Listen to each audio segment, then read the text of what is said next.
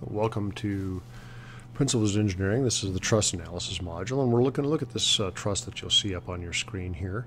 Uh, I apologize up front for my drawing abilities. They're not the best, but uh, we'll get the point across nonetheless. So looking at the truss, I've got elements in it from A, B, C, D, and E. I've got 200 pounds hanging at D. I've got 200 pounds hanging at B. It's supported by a pin at A, So a pin at A and a uh, pin at a roller at C, right there where my cursor flashes. So overall, if I want to look for determinacy on the truss, I basically can come in and I've got to be sure that my number of joints, so the formula 2j equals m plus r, where j is the number of joints in light blue, and that number for the joints in here happens to equal uh, 3, 5. Uh, equals to m, which is the number of members. Those are in purple. So I've got 1, 2, 3, 4, 5, 6, 7. Plus the number of reactionary forces. So the reactionary forces are those caused by the supports external to the truss or the overall truss system. When I look at those forces, the reactionary forces that are generated, you're going to see that at A, my pin is going to produce a reactionary force in the X and the Y direction, or two forces.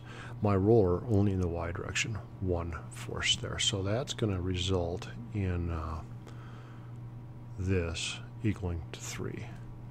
So then the big question is, is, is the formula valid? And you can see that 2 times 5 is 10, plus uh, does that equal to 7 plus 3? And the big answer is yes. So we are determinate uh, in that truss system.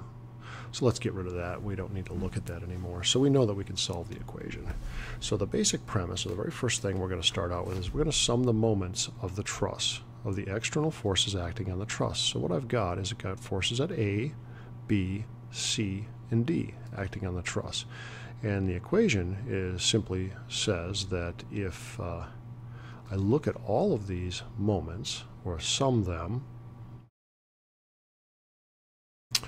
uh, it's just going to say that the sum, sorry about that, make that an active layer, it just says that the sum of the moments throughout the truss has to equal to zero. So it's not rocking back and forth.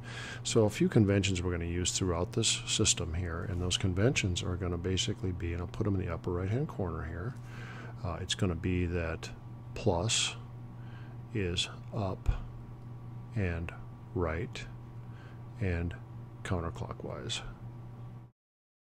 So I'll just put those there and we'll leave them for now. So let's go back to talking about uh, this sum of the moments. So I already said that I have got a moment at D. I've got a moment at B. I've got a moment at C. And that takes care of all my moments. Now I don't have a moment at A, and the reason for that is the moment formula equals a force times a displacement distance. The caveat on that, it's the force that's perpendicular at D. And by that I mean that if this is point A, and I've got a moment arm, D, and a force acting on that, it's only the component of the force that's perpendicular to D, the line D. So hopefully that's a reminder and that makes sense from what we uh, looked at before. So with that said, let's go ahead and come back here and let's talk about the sum of the forces.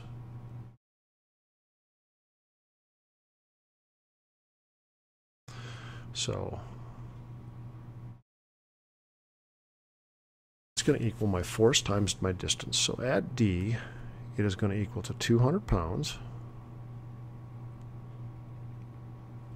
times my displacement. Now I didn't put my displacement on here when I drew this uh, the first time, but this is 3 units over, 6 units to B, 9 units to E, and it's 3 units up. So we can see that the moment at D is 200 pounds times 3 feet plus the moment at B is 200 pounds at 6 feet plus the moment at C is R F C Y times 9 feet. Now it's important to look at this and say, well, which way would this 200 pound force be pushing it? And what it would be doing is it would be pushing it over here. You can see clockwise. So this is going to be a negative, a negative, and a plus. So what this really boils down to is I can say that this whole thing uh, is a minus 600 foot pounds. That's the force at D, or the moment at D, plus a minus 1200 foot pounds. That is the moment at B, plus the force reactionary at C in the y direction times 9 feet just equal to 0. Or my reactionary force at C, y direction, is going to equal mm-hmm. to the sum of these two, which is 1800 foot pounds divided by 9 feet. You'll see my feet cancel out, and that equals out to 200 pounds up because it is positive. So what I've just done is I've just solved for the external force. So what I'm going to do is I'm going to go back and I'm going to replace RFCY.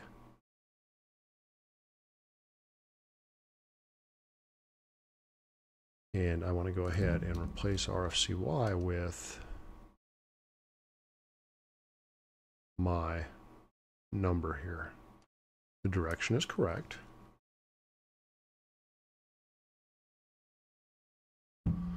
So I've got 200 pounds.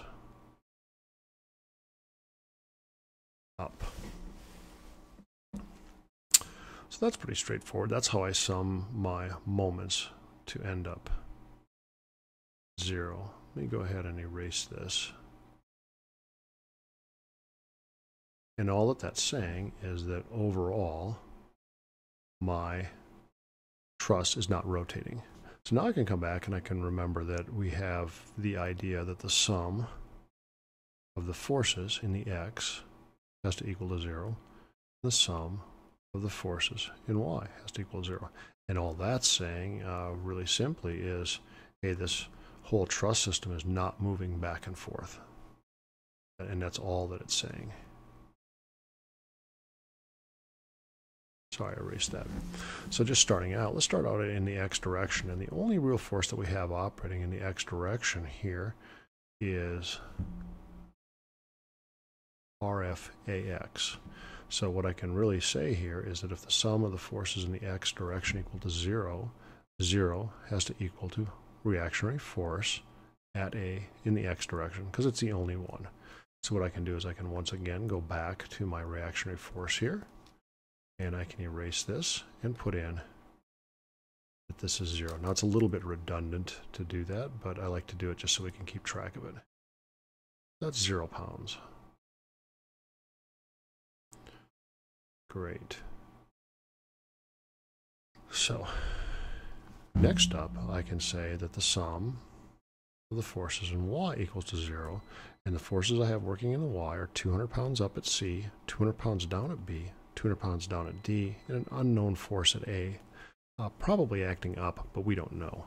So what I'm going to say is that is equal to the force at D plus the force at B plus the force at C plus